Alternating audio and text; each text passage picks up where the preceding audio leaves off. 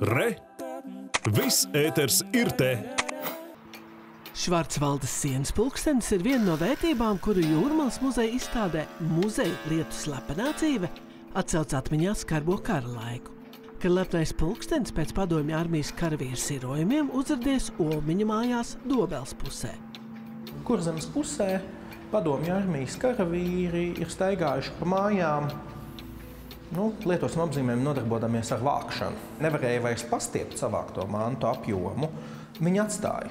Nezinām, no kurām mājām šis pulkstenis ir nācis, bet uh, tā dzimta, kuras mājās viņš nonāca pēc tam, pret to izturējās kā diezgan lielu relikviju.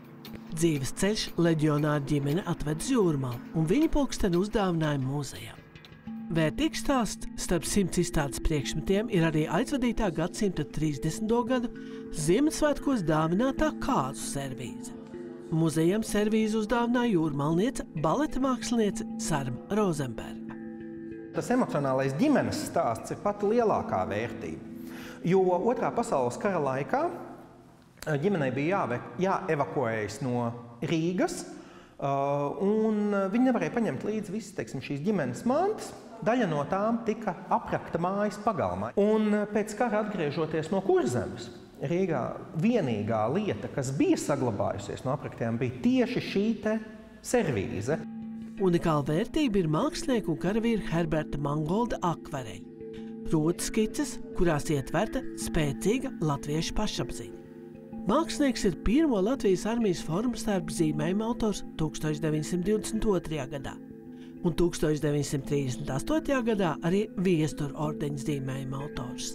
Šie zīmējumi ir tapuši eh, no 17. līdz 19. gadam, un eh, tas ir laiks, kad notiek brīvības cīņas, eh, gan arī vēlāk.